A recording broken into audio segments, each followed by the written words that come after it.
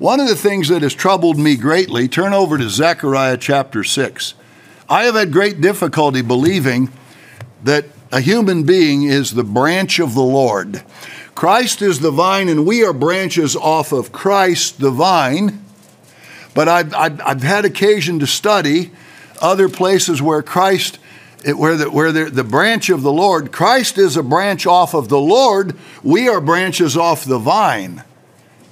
And I do not believe Elijah is the branch anymore. He is called a branch in one place, but that's translated from it means a green, brilliant green shoot, and you'll be a brilliant green shoot too.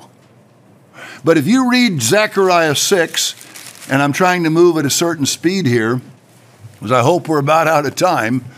Um, I need just a little while longer. if you pick up in Zechariah 6, here's what it says Put these crowns on Joshua, verse 11, and speak to him, saying, Thus speaks the Lord of hosts Behold, the man, that could be the Son of Man, whose name is the branch. Now, when it's talking about me, it usually uses my name or Joshua. You're telling him about it. Behold yourself in the mirror. Behold yourself in the mirror, the man whose name is the branch. Oh, that's me. No, no, keep reading.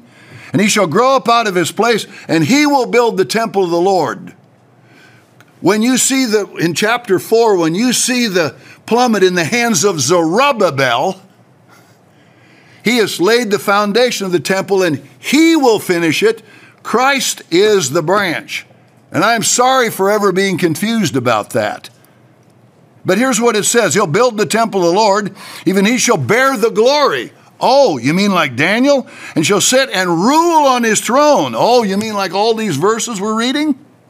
And he shall be a priest upon his throne, and the counsel of peace shall be between them both. Who? Joshua stands in front of Christ every day, between the two of them, building the temple of the Lord because if the Father's in the background, you better seek Him. He's the one who, whose kingdom this is, but so far it's just the kingdom of Christ. But it's everlasting, it never stops, and it's the throne of His glory. What we're waiting for, and I apologize, but God said the mystery would end at the end. We're waiting, for what we're waiting for is way better than anything we thought about. And we're learning it kind of right on time.